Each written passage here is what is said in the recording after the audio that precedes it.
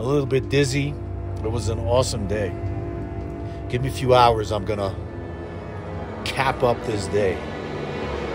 Halfway to Leh. Tomorrow, hopefully, we'll be Leh.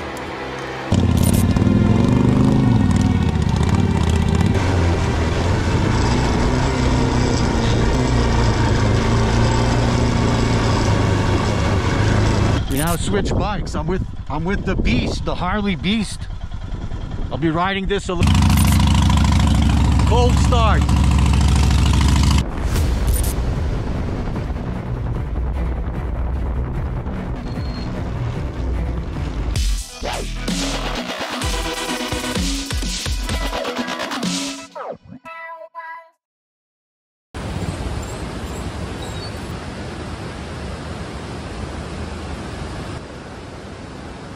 One thing about I noticed over here. Everywhere you see is English wine. Like, do is English wine any any good? Like, why is it not Italian wine or French wine? Every everywhere here is just English wine. Day two, since I was able, I pushed yesterday. I was able to make make it all the way over to Manali, where I'm at right now. Uh, in one day, my buddy was uh, we were supposed to meet up here today afternoon. So i have pretty much a free day over here. I'll call it my chill day where i relax. My daughter woke me up four o'clock in the morning. She calls me with the most important things obviously on earth like how to do something on the computer. So i had to help her. I'm, I'm up till, since four o'clock in the morning. So i said you know what? I'll go out and uh, grab uh, early breakfast well, it's now 8 o'clock in the morning. There's nobody at the hotel. Everything is closed. I said, okay. They're, uh, they sleep in, these guys over here. So I walk around town. I said, I'll go to the bakery. They got a German bakery over here. I'll grab a croissant or grab some kind of pastry. Guess what? The baker that's supposed to be up early is still sleeping. All the shops here are closed. It's 8 o'clock in the morning, literally. Unbelievable. Not unbelievable. They have their own pace. I think there's something nice about it. Really chill, really chill life. No pressure. Wake up whenever, enjoy life, I guess. So different from our, you know, lifestyle, the rat race we're in. I'm still hungry. We don't want to wake anybody up. Oh, look. That's open.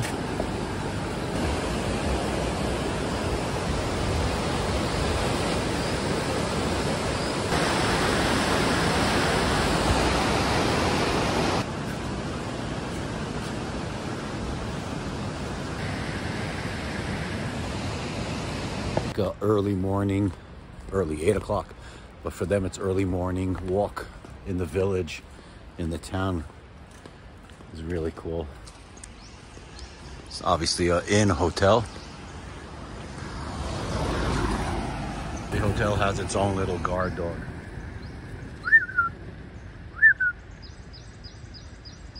Hey, hey there. Hey, hey there, yeah. Hello. Nice and fluffy. Yes, you are nice and fluffy. Boy, yeah. You have ticks all over you? No, you don't. You're sweet. Bye, I'm going to, I'm going for a walk. Yeah, yeah, he's like he wants more. Bye.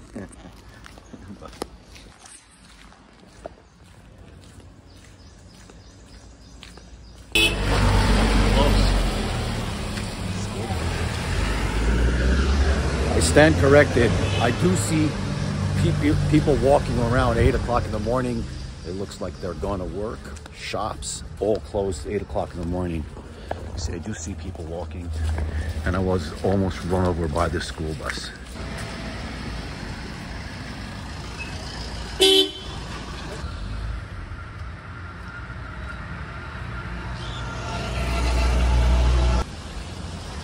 Now I understand what this is all about. Had that on my bike and I didn't understand what it's for. Now I see it's for extra gas. In India, everything is very functional, extremely functional. You see something, you try to figure out what it's, what is its purpose because very functional society. Everything is created and built to work, to last, and for easy maintenance.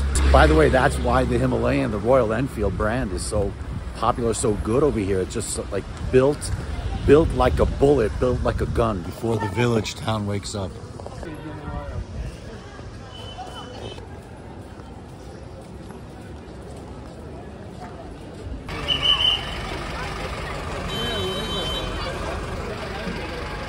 High voltage power lines. Transformers in the middle of the street. Have a little walk in this beautiful weather today.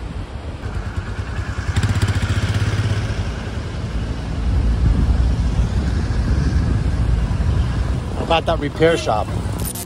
I just heard my buddy roll in with the Sportster. It's a different, different sound. Let me see if I'm right. There he is. there he is. Look at that Sportster.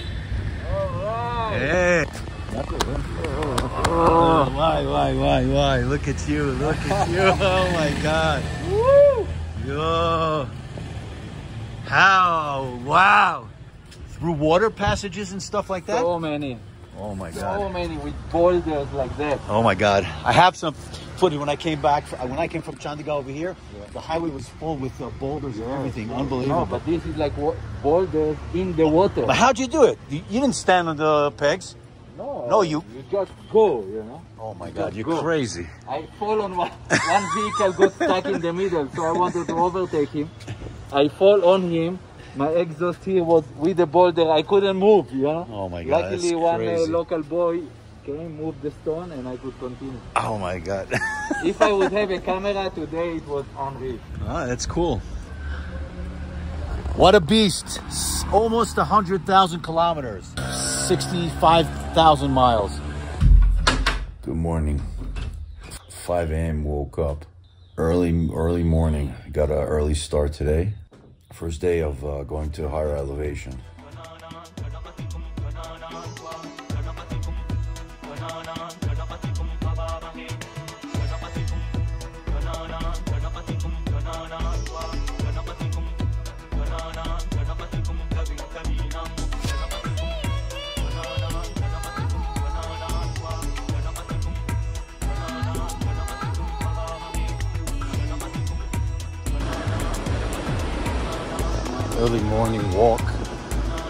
Before we hit the road. Got up really early. I got up five o'clock. Same story today. Woke up early, five o'clock, hoping to get, I just woke up, hoping to get some breakfast. 7.30, couldn't find anything open. Only found a coffee, sh coffee shop that was like, had a cappuccino with cake. That's all he had, some nice cake.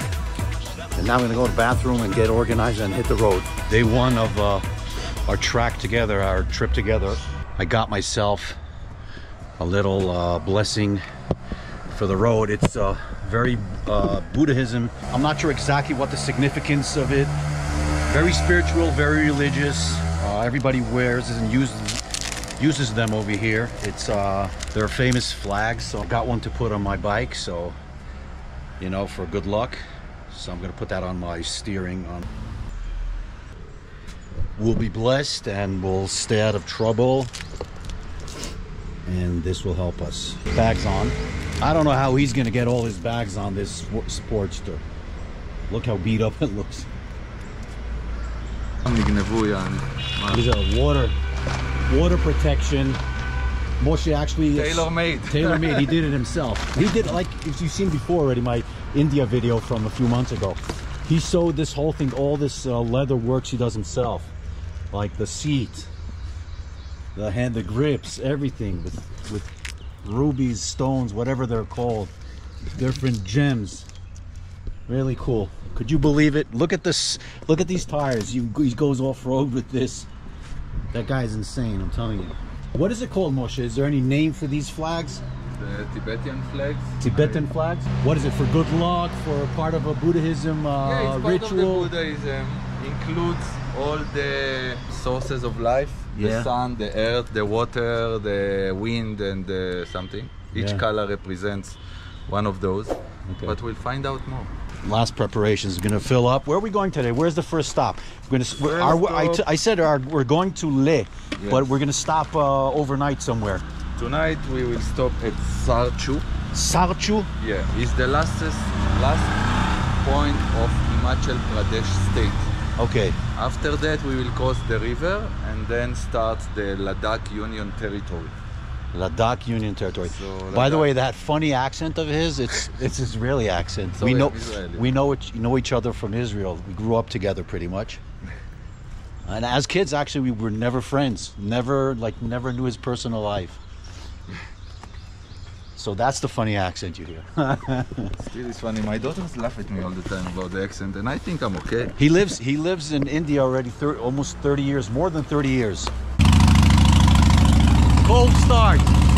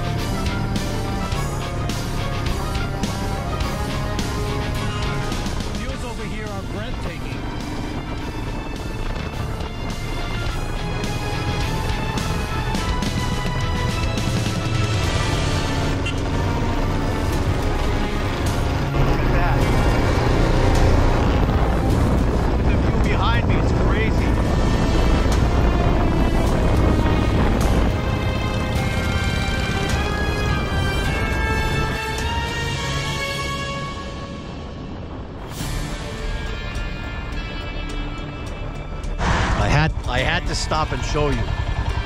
Look at that huge valley. With the stream coming through. Look at the mountains. It's just epic. It's just breath breathtaking.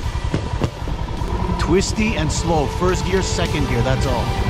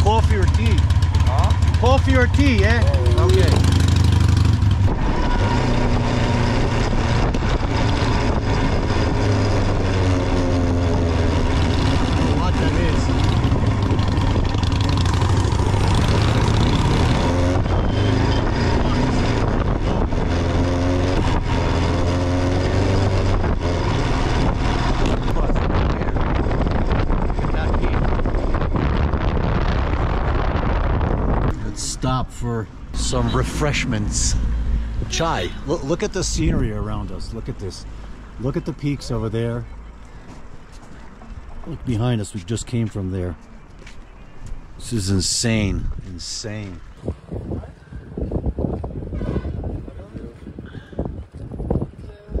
Guys, we just stopped for some. What what tea are we drinking? Lemon tea. Oh, lemon tea. Just Just lemon tea. I'm like, wow, how exotic. Yeah, just lemon tea. Mm. But we went through like a ten and a half thousand uh, foot pass through a tunnel. It's crazy. The ascent was crazy, slow turns like first, second. That's all you do. And then now we're gonna head uh, down, probably another pass later on. We're on our way to Sarchu, which is halfway, midway till we get to Leh. And hi, hello.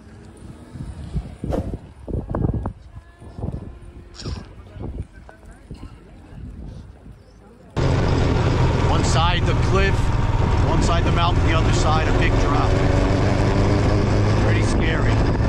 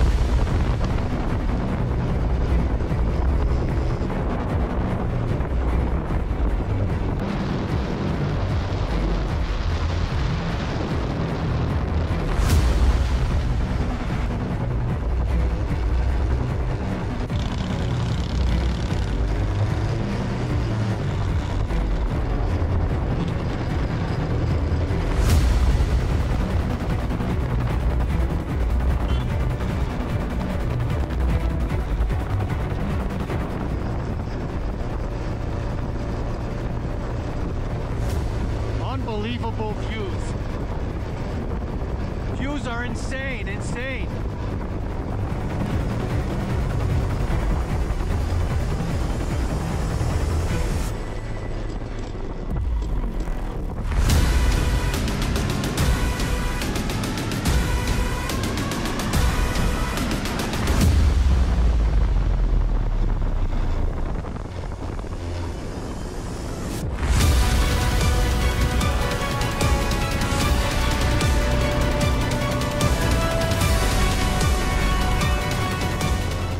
Now switch bikes. I'm with I'm with the Beast, the Harley Beast. I'll be riding this a little bit to feel the torque.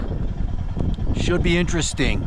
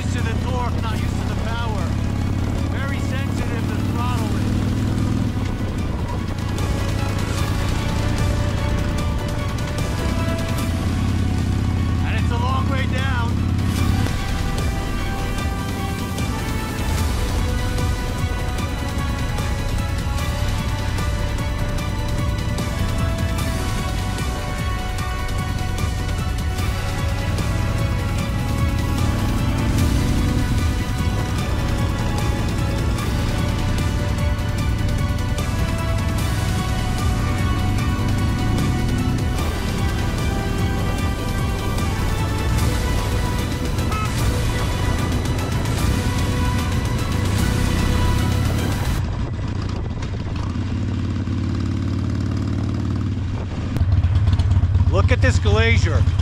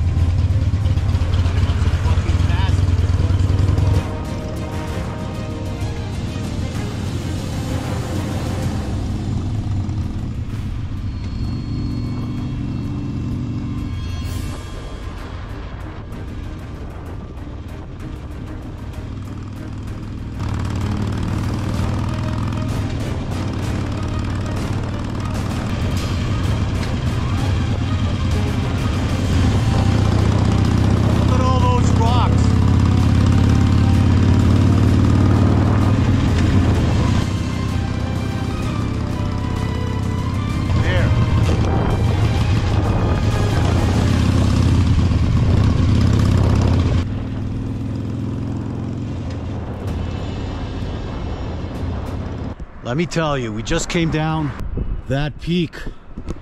And let me tell you, I was scared shitless.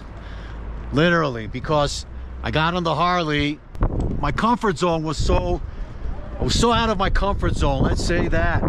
Like where the horn is how the brakes how the brakes respond the gearing the clutching all of a sudden there's so much power so much sensitivity on the throttle i was scared shitless i will not, i'm not lying to you i want my bike back i want the slow chugging Himalayan. Man, I, I need to change my underwear. I shit my pants, literally. I'm gonna eat, we're gonna eat something now. We left, we literally left this morning. Everybody, like, like I told you, everybody's still sleeping, so we didn't have breakfast. So we stopped right over here. And this is what we're gonna have this dish. Rice with lamb and Curry. and stuff and curry and like yummy stuff and ah.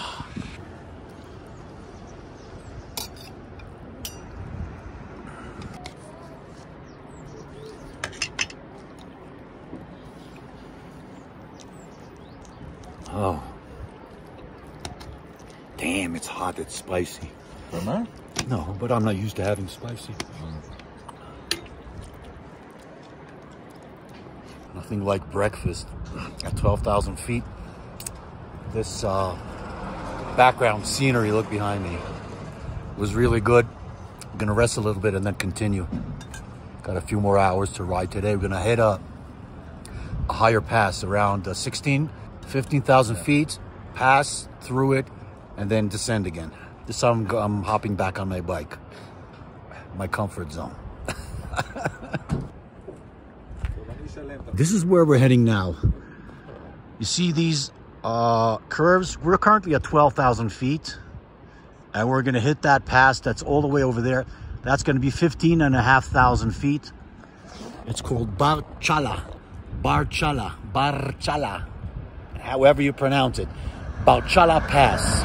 Once we hit the peak, pass, and then it's uh, a descent. Although it's, uh, know, nature, you can go and pee anywhere you want. But this is, uh, they asked us to do it over here. So it's a little shack over here.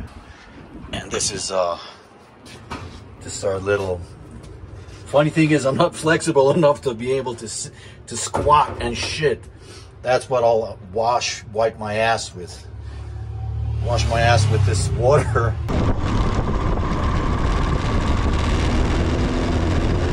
go from one uh, part of the state to another uh, jurisdiction. They have to register the bike and everything. So this police stop point, they registered the bike, and now we're continuing to the pass itself.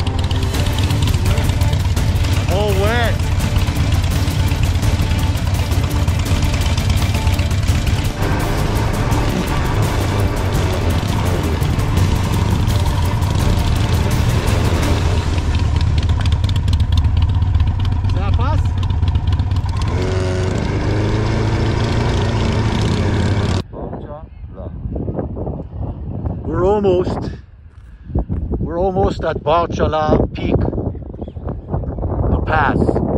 We just, a beautiful spot, just to breathe, take in some air. I can barely breathe. We're about, I would say 14,000 feet right now. I'm out of breath just from talking.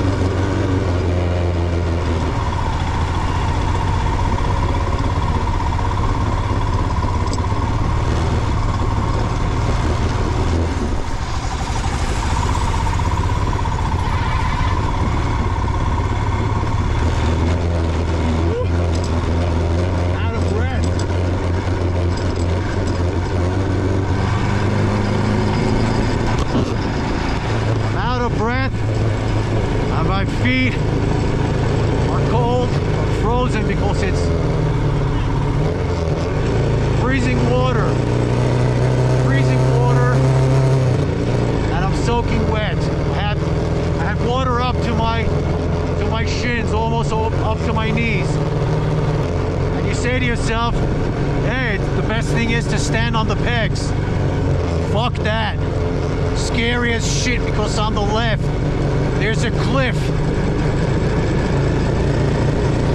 I don't know. 400 meter drop to the left. I'm not standing up. I'll be with my. Woo! Adrenaline is fucking pumping. Adrenaline is pumping. It's sick.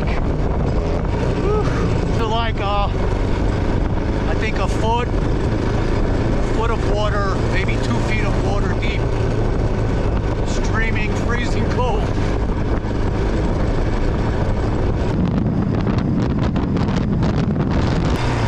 Getting closer to the pass.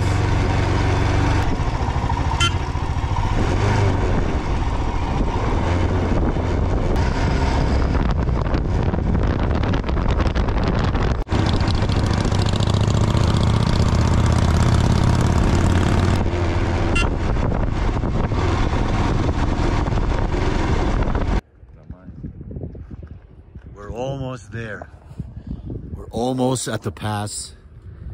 I'll be honest with you, I was uh, I was scared somewhat. I was very yeah. Truth, truth be said, it's your fifth time. But I, was also on the first, and I was all by myself. I was like I was very tense. I was very tense. You know, that's the truth. It's good. That's I'm Fear, honest. save, fear takes care of you. Yeah. That's Uh, good. I can't really breathe because um, not a lot of We are now oxygen. around 14,000 square, uh, 14,000 feet. 14, yeah. And I'm having difficulty to breathe, slightly dizzy, slightly. But Talk too much. yeah, That's it. That's it. I can't, I can't talk too much. True. Did you see the Harley? How it went through those? I'm soaked. I'm soaked completely, and it's it's freezing water. Okay. But that's the journey, you know. And now it's snowing. Rain is non-existent over here. It's just uh, snow and sleet.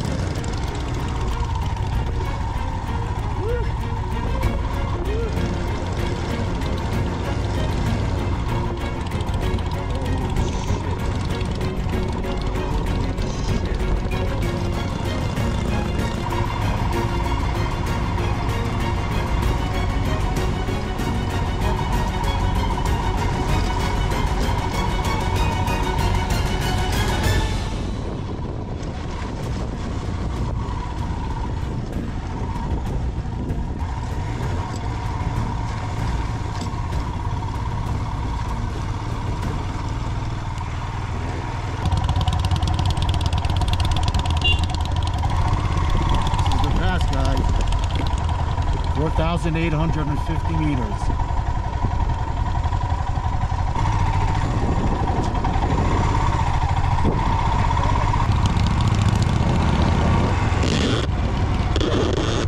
From this point on, it's downhill, descending.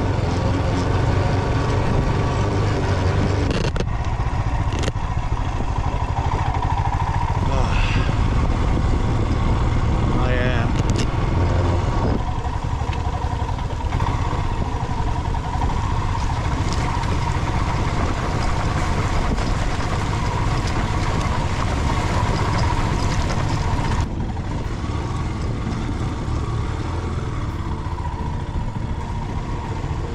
Oh, like this, this one standing up.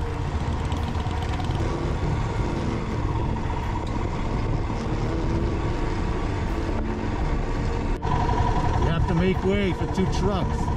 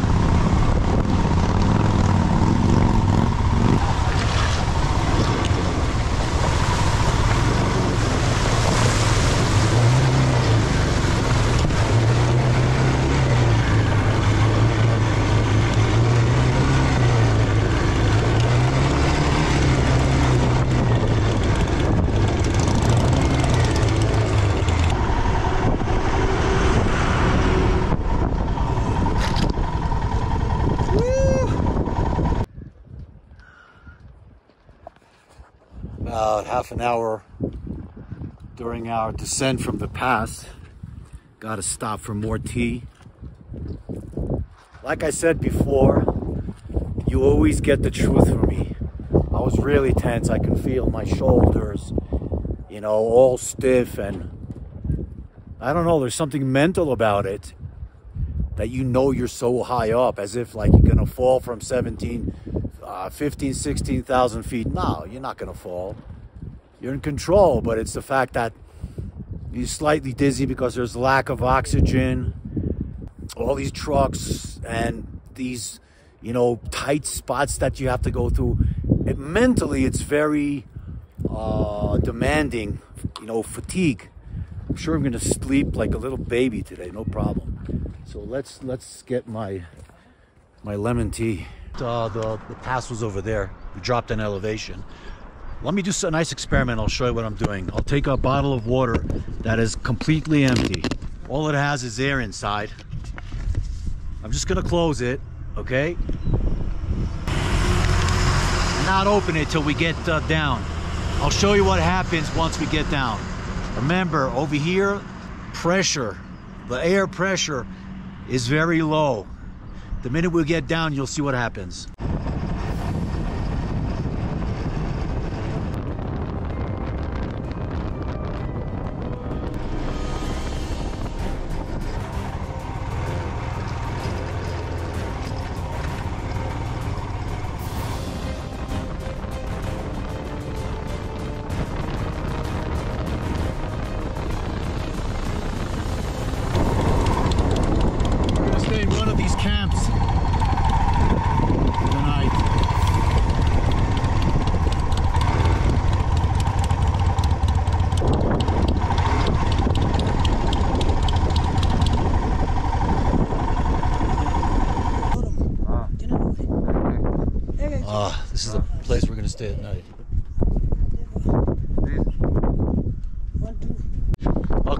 Pulled in, negotiated the price. We're gonna take each each person his own like tent. Anyway, we're pulling in there for me it was an exciting day, man. Let me back up. Let me show you the little campsite that they have. Uh, the Tibetans built it up for the season so people can, you know, stop over here midway to Leh. We did drop uh, elevation. I'm not sure exactly what. I'll check very soon on the map. Remember that bottle that I showed you? Look at that. Look, look how it shrank. And the reason is, is because the the pressure, the air that's inside and it's locked with the pressure, the low pressure that is by the pass where, where, where I locked this bottle, this is low pressure inside, but because we descended, the surrounding pressure is much higher. So it's literally squeezing, squeezing the bottle. and if we go even lower, it's gonna be like completely, we do this a lot when we fly. We used to play around with this. It's pretty cool. Let me show you uh, room over here. Here's my stuff. They gave us some tea. Usually it's for three. Uh, we, uh, each one of us took uh, the whole thing for himself. It's cheap. It's dirt cheap. Oh, look at this. They got a. They even got a toilet. Oh my God. With running water, I can't believe this. Oh my, obviously no toilet paper. You gotta wash with a bucket. But yeah, it's pretty cool. Okay, let me get my shoes. Let me get all the water out of my shoes. I'm freezing cold. Because it feels soaked. But just my socks are soaked. Seems like I'm gonna be riding with these wet book boots tomorrow as well. Let me warm up, guys. So I switched, switched to dry socks and put my uh, little jacket, uh, down jacket over here, just trying to warm up. Soaked with my socks. I mean, it's not the shoe's fault. It was like water up to my knees. No way, no way around it. And look what uh, is rocking. I got him a holy shift, a holy shift hat.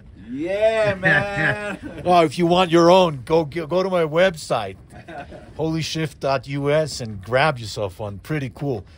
The problem is, look, this dude has hair like he's 18 years old. Turn no, he's around. got some hair. turn, turn around. Show them. Look at that. It doesn't like he can't pull it over his ears. And for me, it's like it fits all over my face. it was a wicked day. I like I'm try, I'm laying down because I got to get blood to my head. I'm like oxygen deprived, a little bit dizzy. It was an awesome day. Give me a few hours. I'm gonna I'm gonna try to cap up this day. Halfway to Leh tomorrow. Hopefully, we'll be at Leh. Cool. We're at we're at actually a high elevation now. I'm starting to have a little headache, and I actually do have uh, uh, pills like for altitude sickness pills. Yeah. Oh my god. Should be pretty awesome. Uh, once I catch my breath, I'll go out to show you a little bit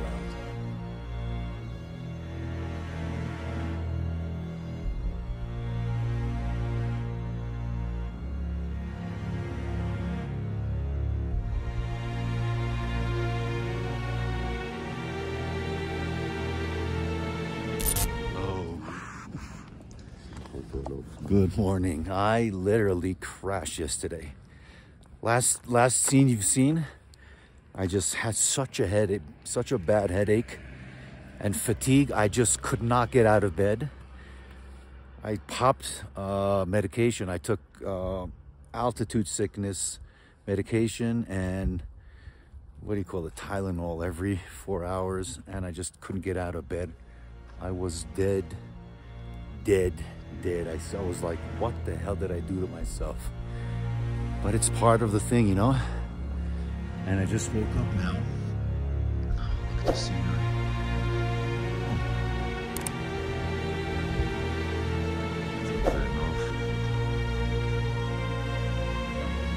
Delicious.